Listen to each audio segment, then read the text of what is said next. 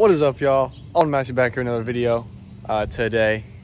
We're doing an oil change on the 2014 Honda Civic LX.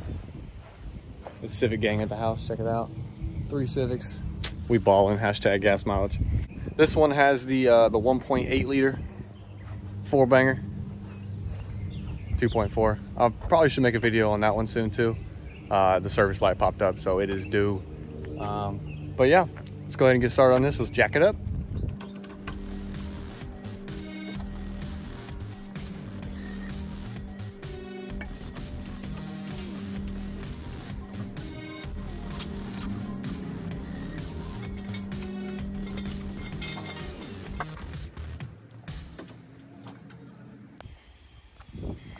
Right, so got it jacked up.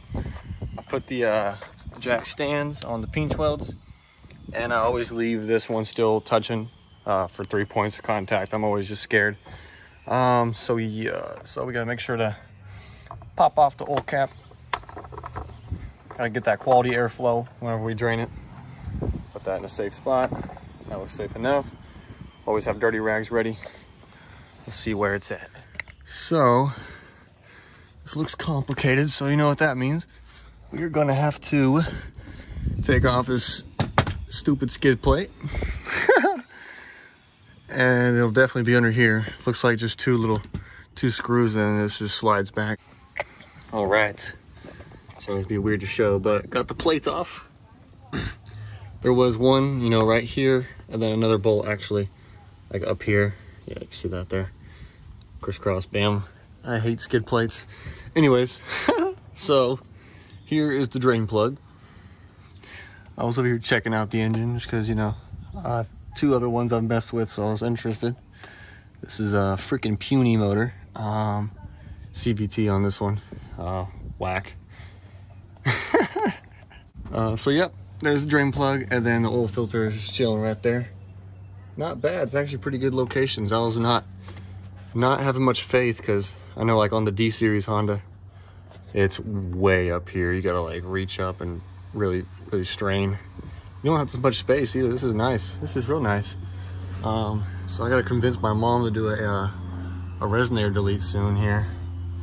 Um, the cat's up there. We gotta do a resonator delete. Peace out, fam. That is just one pipe away. Uh, I need to stop looking. That's dangerous. Anyways, um, so yeah, about to figure out which size this is. Get the pan ready and uh, let her rip. I'm gonna let her rip. Third time's the charm.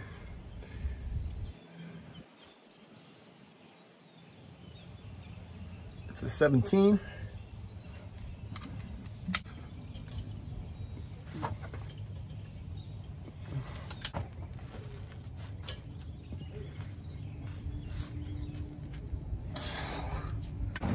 Here's a cool little trick I can teach you. Oh shit. You use, uh, you get a, a ratchet, you get a wrench, you slide it on like so, and then you use more leverage. Bam. This is why you don't go to a shop, people. Don't get your shit done at a shop. Do it yourself.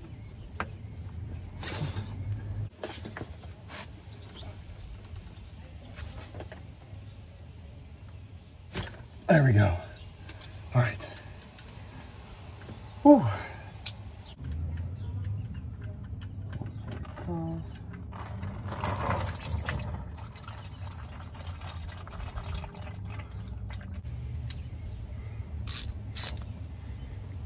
All right, so we still got to drop the oil filter, um, but this pan is actually pretty dang full. So I got to drain this before I do it because I don't know how much is actually going to be in the filter. Um, but I wanted to make a point. Whenever you retighten it, just make it barely tight. Okay, not loose, but barely tight. Um, it doesn't need to be freaking cranked down with a torque convert. Okay, like shops, are you listening? You don't have to crank this thing down with all your fucking might. All right, it's gonna be fine.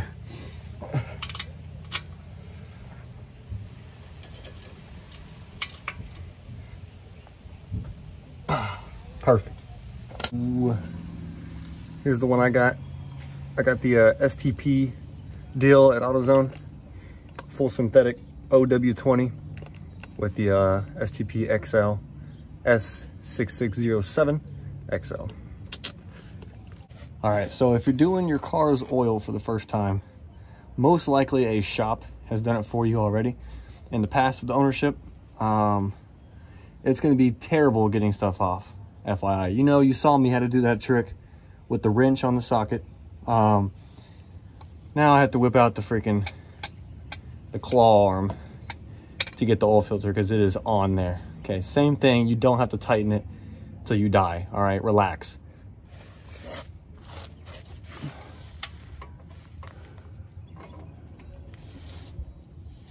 Okay, not too bad. Not too bad. Also, always check, see that little black, black O-ring? Make sure that stays on this and it's not stuck on the car because if you double up where you have this one stuck on the car and the new one from the new filter, it's gonna be a bad day. Um, bad things can happen. I can't remember exactly, but do not leave both because I know it's catastrophic. All right, uh, just make sure that's there and you're good. And then what I do, get a little oil. You could do new or used and put it on the uh, O-ring a little bit just so it's smoother, uh, more secure, you know what I mean? It's not dry, you know what I'm saying? Um, so yeah, let's get a little bit of, a little bit of that.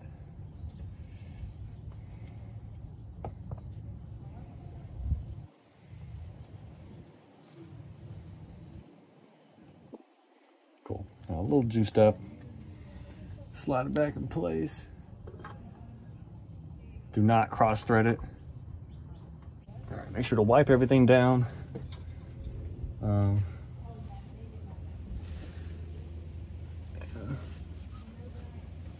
sure you get all the oil off everything because if you leave oil in there and it gets hot, it's gonna smoke and then you're gonna start tripping out. That's good. Cool.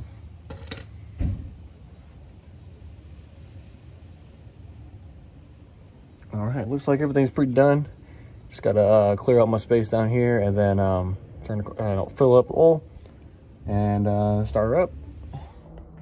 All right, ready to fill up. I got a STP's full synthetic OW20. Um, it says to fill up with 3.9 quarts, and this is probably a five quart, five quart deal. Yeah, uh, yeah, five quart deal. So almost all of it. Let's get it done.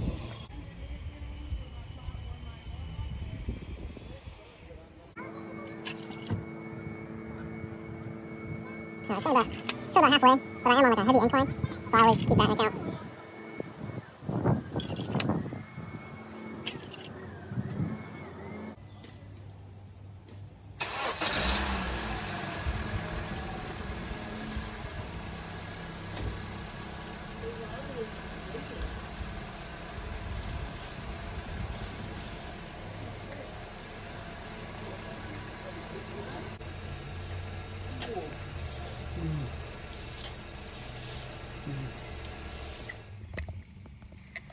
All right. So everything's emptied out, cleaned up. I'm gonna show you how to uh, clear your, you're gonna see a, bam. Okay, so you probably got this. This is why you're doing this in the first place. Um, so what you'll do is, you'll go to uh, source, no, psych, that's a lie. You go to menu, menu, vehicle information, maintenance info, and you can see you just hold down the uh, source button to reset oil life. Bam. Bam. 100% oil life. Menu to exit. There you go. And then you just uh, write down your mileage. And uh, you know you know the rest. 5k do it again. All right y'all. Everything's all buttoned up on the civic here. Um, hopefully it helped you out. Hopefully you did enjoy as well. I should be making a video on the 2.4, the SI, uh, here real soon. So stay tuned for that. And if you need that, uh, I guess you'll search it. There you go. hopefully you did enjoy. Please like, subscribe, and I'll see you in the next one. Peace.